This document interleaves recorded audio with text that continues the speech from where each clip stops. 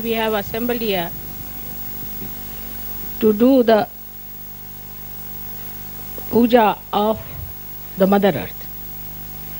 We call it as the Bhumi Puja, Sri Dhara Puja. She is called as Dhara. As you know, Dha means sustain. Radha. The one who sustains the energy is Radha. And Dhara, which is the one which is sustenance itself.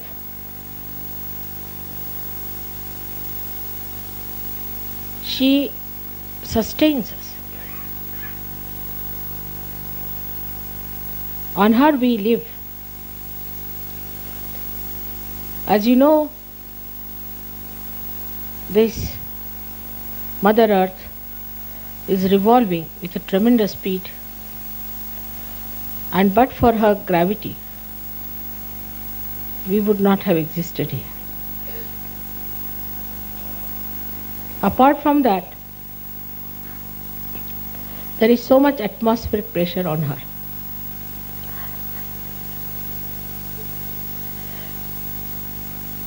She understands things, coordinates, and creates.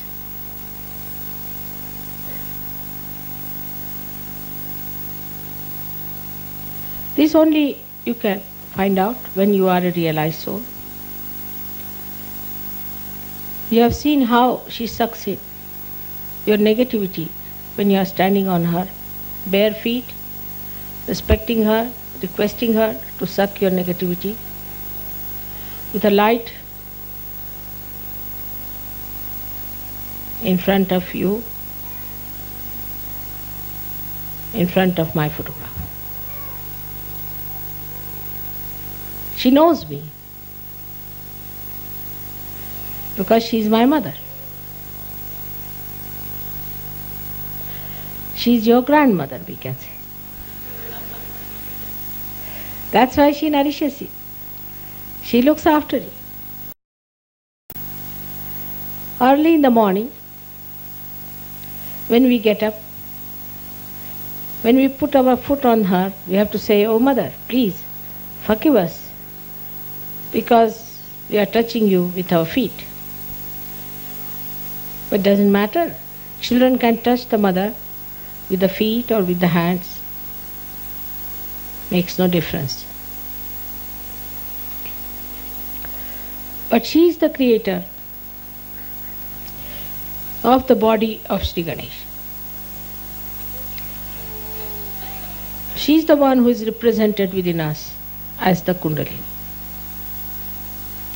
She herself moves in a spiral round the sun. The sun also moves up and down and she moves around the sun in a spiral. But because both are relatively moving, you don't see the movement of the sun.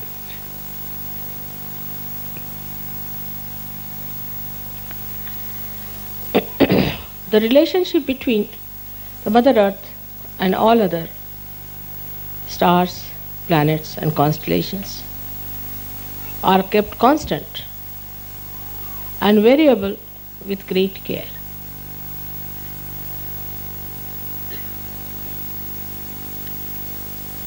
When we talk of materialism,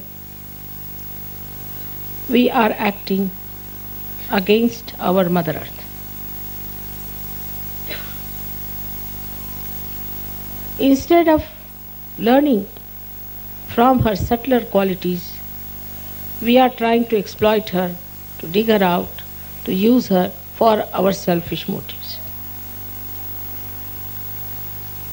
What does she do to us? She creates these beautiful fruits for you to eat. She creates beautiful trees for you to make furniture, to make nice houses. She gives you green grass to soothe your nerves. She carries so many rivers and so many huge big oceans on her being. She is always larger than the largest of oceans.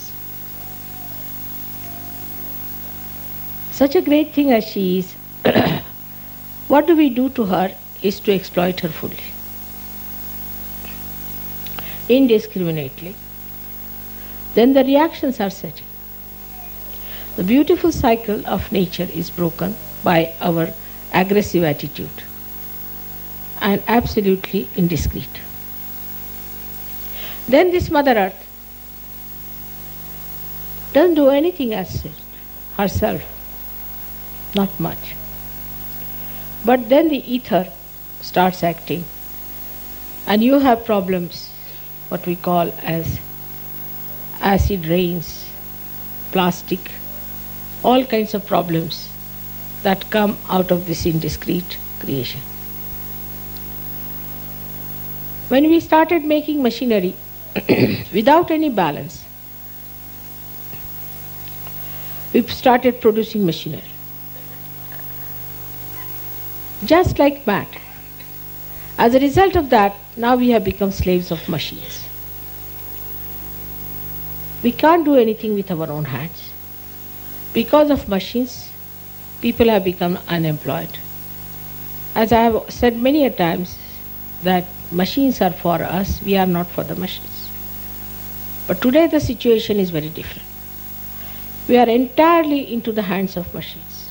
Again, the same indiscreet behavior. Again, the same imbalances. Mother Earth teaches us balance. If she was not in a balance, we would have been all finished. She teaches us gravity. She teaches us how to be attractive to another person without the other person knowing about feeling about it, without enslaving, without mesmerizing, without obliging to attract and to give without expectations. Without any expectations, she gives us. Whether we respect her not, whether we treat her not, we give her. But when she gets very upset, like as in, you have heard that in Mexico, she erupted out. You know what was happening in Mexico? I was telling you long time back that they are using all kinds of black magic. They are producing all kinds of drugs. Colombia is doing the same. And if you do all these things to harm people, then she gets into volcanic conditions. And then a volcano starts bursting out. As you know, Los Angeles and all these places on the western coast of America are still in the danger of volcanoes. All kinds of gurus have gone and settled there. All kinds of black magic is on. There is witchcraft which is officially recognized. Officially they are registered. Nobody minds doing anything because they say you have human freedom to do all kinds of devilish things under the name of human freedom, they are doing all kinds of horrible things. As a result of that, mother takes the respite. It is always a collective respite. It is always a collective respite. Please remember this. But when Sita wanted to leave Sri Rama, she opened herself and took her inside herself. That is a reception of the mother. That is not the destruction or eruption. But the eruption harms collectively, and sometimes some innocent people are also killed in that.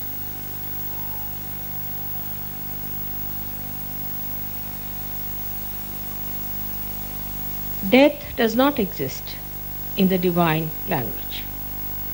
Those who are dead can be reborn. But death sometimes could be used for punishing people.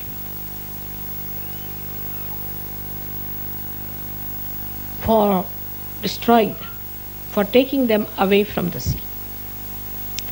That's what the Mother Earth does.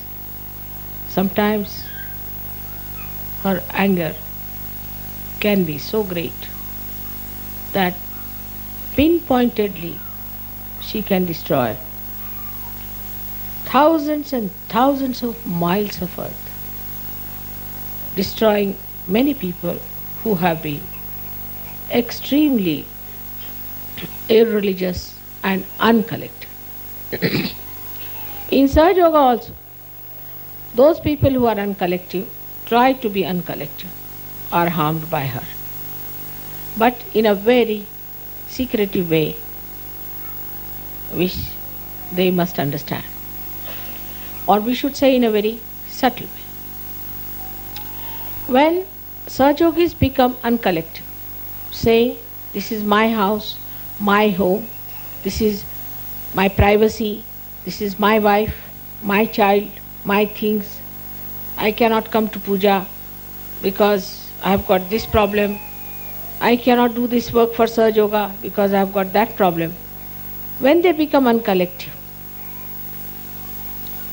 then in a very subtle way, this Mother Earth, which is represented within us as the Kundalini, gets upset.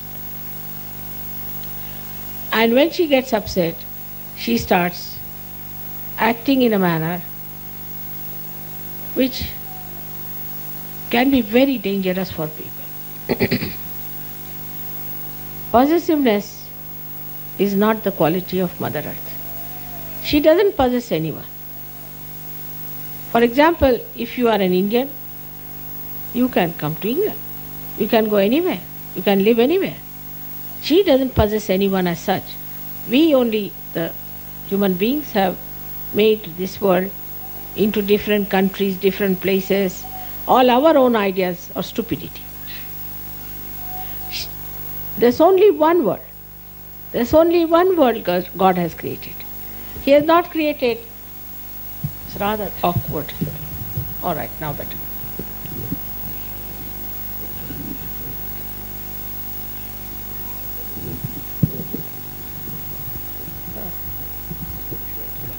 It's all right now, better. It's rather awkward.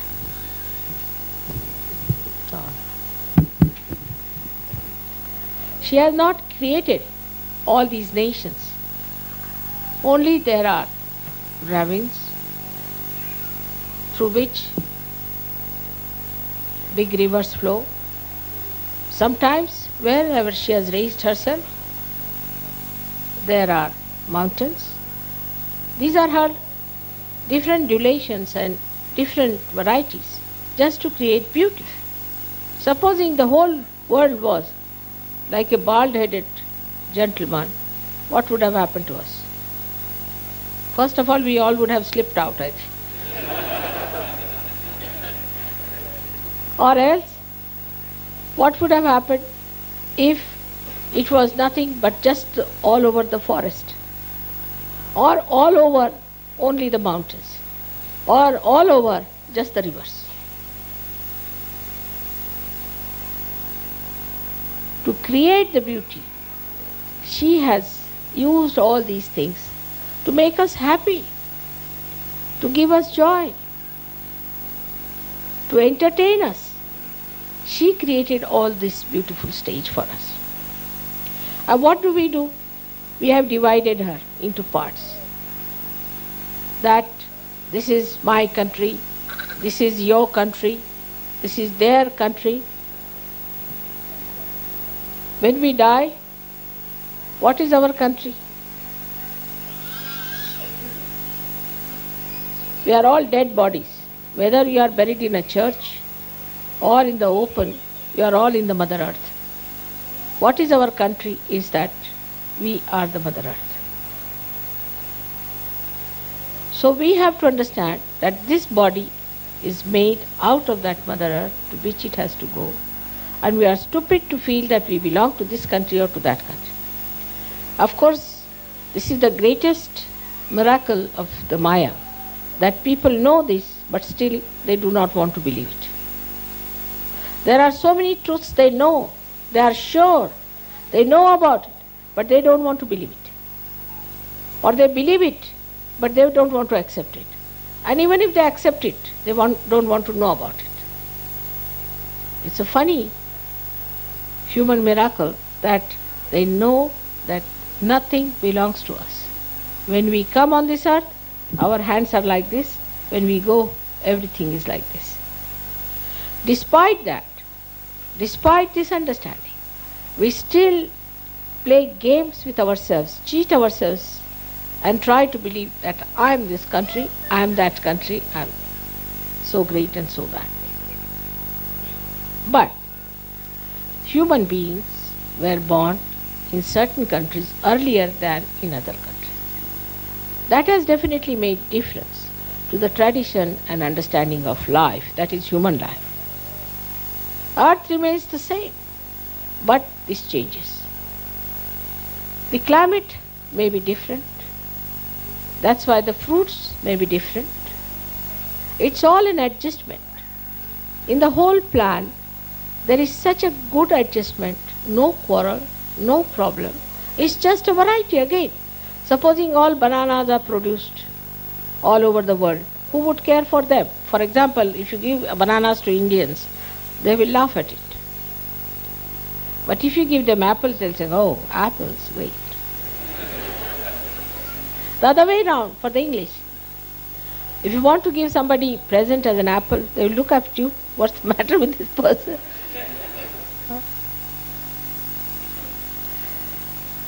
So this is again her own style of playing and giving you different type of climates, different type of produces, so that you enjoy different things. If there is no variety, then you won't be able to enjoy it. How much she understands you, and how much do we understand her? For a Sahaja it is important to understand that we are not going to take anything from here. It's all nothing but clay. And clay is going to remain here and is going to vanish forever and ever. What are we going to carry with us? What are we going to have with us? All the time is our evolution, is now our spirit. So we are the spirit. We are neither this nor that nor that. What we are, we are the spirit, and we are absolutely not anyway contaminated by anything that is called matter. So we should see to the essence of the Mother Earth that the Mother Earth uses her matter to give joy to others. In the same way, if we use her to give joy to others, then you have followed her path. On the contrary, if you try to exploit her, it's like making holes or digging at her. Who is your mother? If you try to separate her into parts, that means you are cutting her body into different parts. All these human concepts are anti mother. But the worst and worst of all is that we do not respect Sri Ganesha within us, which is the creation of this Mother Earth. Sri Ganesha, which is the innocence within us, we do not respect. We do not respect the innocence that has come to us. The way children are tortured and butchered and abused is amazing. How people are not afraid that one day a big volcano might break into a country like this where the children are treated like this. In that case, the Mother Earth will destroy all the human beings who are behaving like this and she'll take all such sweet children into her lap and she'll reproduce them somewhere else. It is very important to understand that unless and until we respect Sri Ganesha within us, our innocence, our chastity, we cannot allow ourselves to call Sahaja Yogis. That is the first beginning, the first step towards our ascent. We cannot talk of anything else unless and until this foundation is laid in the Mother That is why today I have decided that we should have a Bhumi Pujan in England. I hope by this innocence in this country will be respected, will be loved, will be protected, and will be nourished. By this innocence in grown up people will be awakened, that they will respect their innocence, respect their chastity above all other things. By this Bhumi Pujan, we respect the essence of the Mother Earth, that is the Kundalini within us, and we respect our self realization by that. I hope what I am going to do today may be able to transform this country into its real form that I call as the heart of the universe. By this, I hope the Mother Earth will melt the stone hearts of this country into beautiful lotuses, into fragrant flowers of daisies all around. May God bless you.